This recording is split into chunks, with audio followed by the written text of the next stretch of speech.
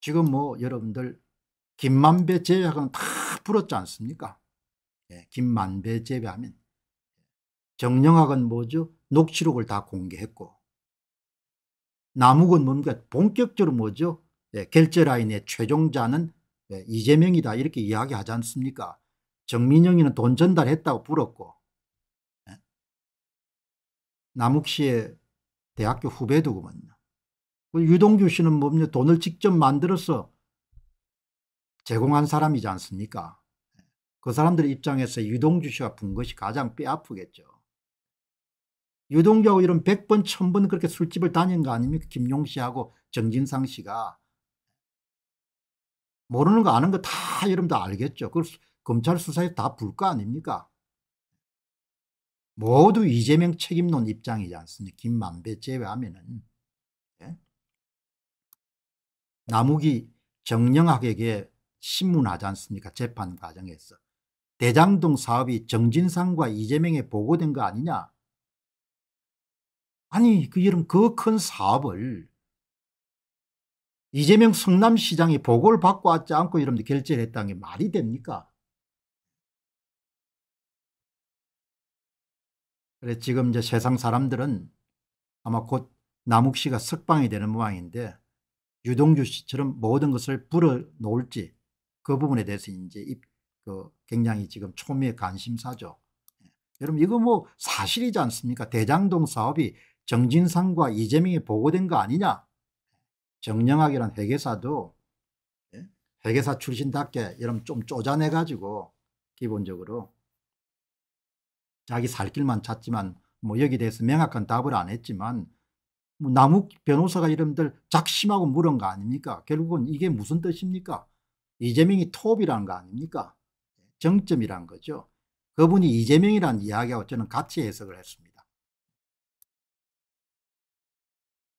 천하동인 사호 소유주 남욱 변호사가 석방을 앞두면서 그의 입이 주목을 받고 있다. 18일 진행된 김만배, 남욱, 유동규 씨 등의 재판에서 이 사건 피고인이기도 한 정영학 회계사에 대한 남욱 변호사의 정인신문이 이어졌다. 직접 신문 기회를 얻은 남욱 변호사는 정영학 회계사에게 대장동 위례사업 초기인 2014년 말의 경에 상황을 물었다.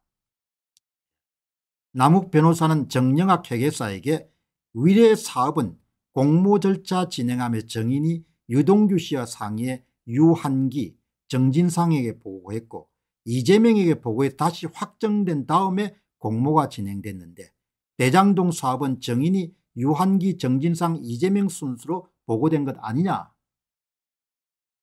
이렇게 물은 거 아닙니까? 예. 뭐 정영학 씨는 빠져나갈 구멍을 찾는지 사실과 완전히 다르다. 위례 건은 유한기 씨를 만난 게 맞지만 대장동 건은 유동규 씨가 유한기 씨를 아예 못 만나게 했기 때문에 만나지 않았다. 그쪽으로 어떤 내용을 보고하거나 허락받은 경우 외에는 만난 적이 없다. 만났건 만나지 않았건 뭡니까? 이재명이 결절한 걸 사실이 아니냐 이야기죠. 정점에 이재명이 있는 게 아니냐. 그것이 남욱 변호사의 여러분들 질의의 초점이고 남욱 변호사가 여러분들 불기 시작했다는 거 아닙니까 확실하게. 그러나 김만배는 여전히 이제 거부하는 거죠. 이재명 측 지분이 부인이다. 아니 여러분 한번 생각해 보시기 바랍니다. 김만배가 뭡니까? 이재명이 여러분 할아버지입니까? 아라부, 아버지입니까? 아저씨입니까? 삼촌입니까? 동생입니까? 예? 40% 넘는 지분을 어떻게 김만배가 다 가집니까? 말이 되는 소리를 해야지.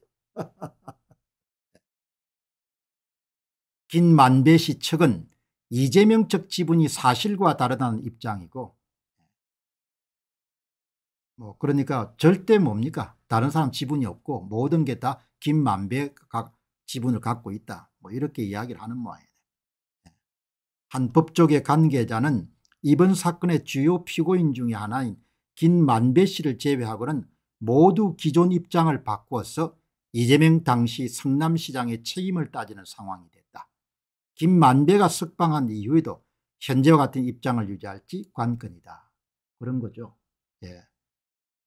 한번 검색을 해보니까 김만배 씨가 구속영장을 받을 때 뭐 대부분 아마 혜미가 곽상도 의원한테 50억을 제공한 거하고 유당규, 유동규 씨한테